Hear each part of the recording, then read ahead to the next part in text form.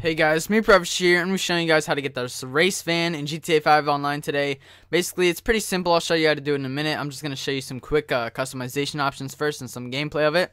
But yeah, it's pretty simple. It's like a race van you see in most like racing games like Forza and Need for Speed or um yeah, I think that's about it. Uh, I was thinking another one, but I can't find or can't think of another one. But yeah, as you can see here, you can customize it. I think this has the lowest suspension uh, in the game. You can lower it the most out of any other car in the game. I'm pretty sure is what I was talking about. But here you have the bodywork. You can add a roof extension to it.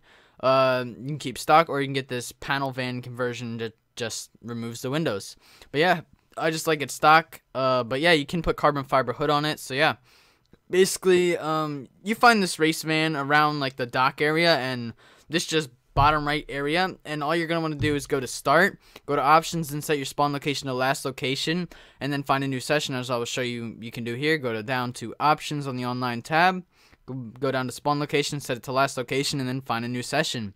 But yeah that's how you find this race van in GTA 5 online today. That's basically how to do it. Just keep uh, respawning in a game and you should be able to find this eventually but but yeah, guys, thank you guys for watching. This has been how to find the race Fan today in GTA 5 Online. Thank you guys for watching. Hopefully you guys enjoyed and enjoy this car as well. Uh, but yeah, thank you guys for watching, and I'll see you guys next video. Peace.